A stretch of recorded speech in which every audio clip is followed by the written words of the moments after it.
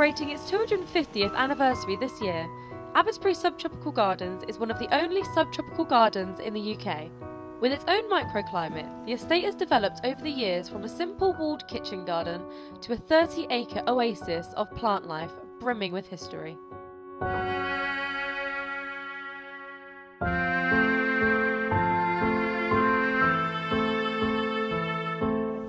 Uh, this is a 30 acre subtropical garden um, between Weymouth and Bridport in Dorset. Um, it's been here for 250 years next year. It was established in 1765 by the first Countess of Ilchester and it's full of exotic and unusual plants from all over the world. Just behind us, nearer to the coast, there was a big um, mansion which was the weekend and holiday home, I suppose it would be, for um, the owners of the estate. And the kitchen garden or the walled garden was what provided them with fruit and veg. But the Countess was also a plant hunter, and so she would go off to Japan and Jamaica and China and come back with plants to try in the garden here, inside the walled garden. Um, and the, the whole of the gardens all around the walled garden were actually woodland. Um, so it was very sheltered, which meant that they could grow sort of less hardy plants. And then gradually the walled garden got too crammed and then she moved outside and then her descendants also were plant hunters and they started building up around the area outside the walled garden until now we have this 30 acre garden. The key to the garden's success lies in its position. Sitting in a sheltered valley right on the coastline, just a pebble's throw away from Chesil Beach, provides an unlikely location for such tropical plant life. Quite lucky in that we've got our microclimate here. There's a lot of holm oaks. Um, you can see behind me the, the evergreen oaks, um, and they provide a blanket during the winter, um, keeping the warmth in the ground and trapping the warm air. Um, so that allows us to experiment with plants, um, uh, less hardy ones, and so we've been able to develop a subtropical garden. Um, again, we're, we're close to the sea, the sea, so warm sea air comes in.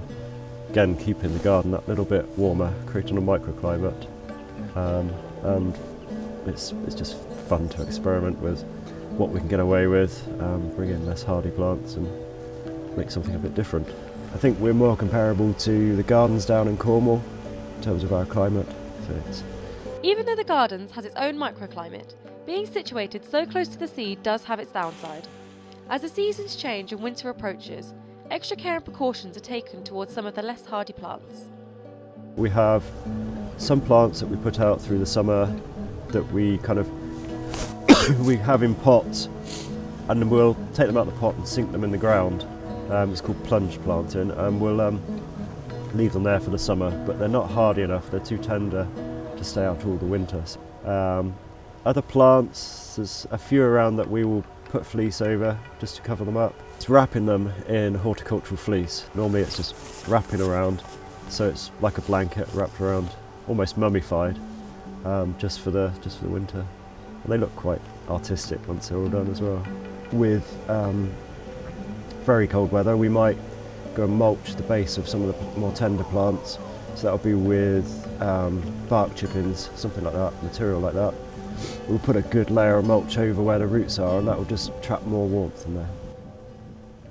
Although winter can cause a few difficulties within the garden, they can also face a few unexpected problems from the weather.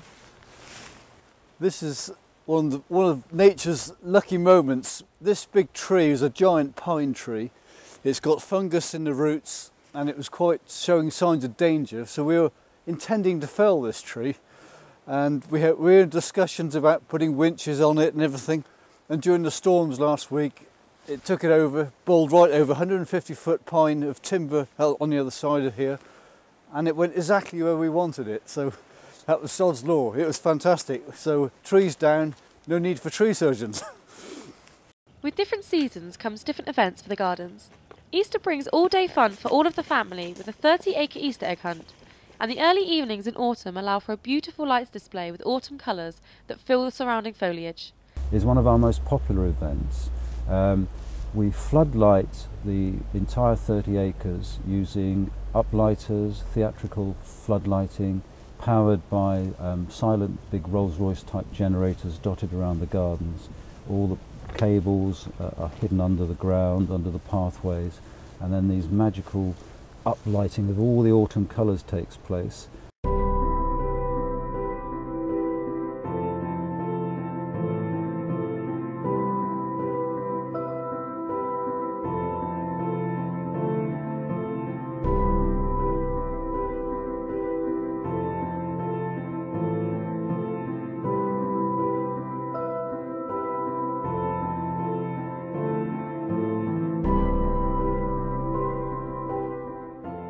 Every 10 feet on the left hand side of the pathways we put candles in lanterns to snake people through the tableaus of colour um, all the way around the garden. It's, it's absolutely magical.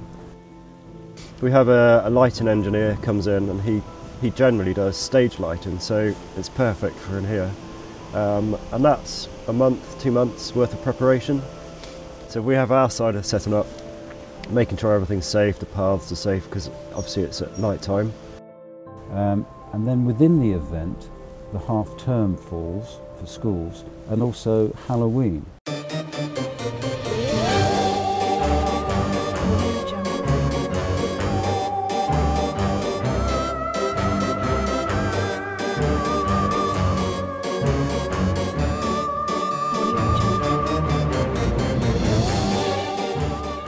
So for three nights we have, um, instead of just illuminations, we add um, witches and ghouls and scary things dropping out of trees and scary scar workshops and ghost stories and, and make it a really family fright three nights.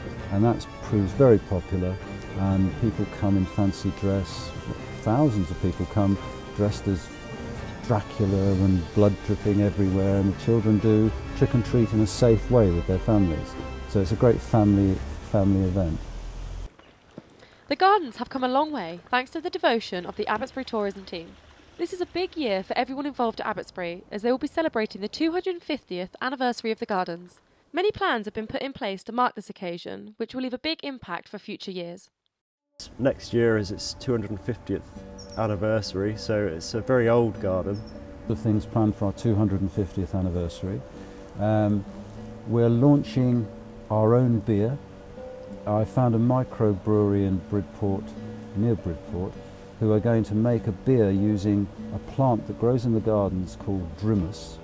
And Drimys was used in the 1700s on the uh, sailing ships um, because it's got lots of vitamin C in it to hold back scurvy. And so this new bitter will be special and we'll be only able to purchase it here. Um, we're also putting in the garden a major new feature. We're building uh, a Burma rope bridge over the pond at the bottom of the garden, which will be 36 metres long, and that's going to be fun. The passion and the drive which every member of the team has is clear to see in the constant ever changing and evolving plant life and the gardens expanding further beyond their original walls. It will be interesting to see what the future holds for this small, tranquil sanctuary which has made such a big impact on the gardening world. It's going to be fun next year at uh, Abbotsbury, so please come.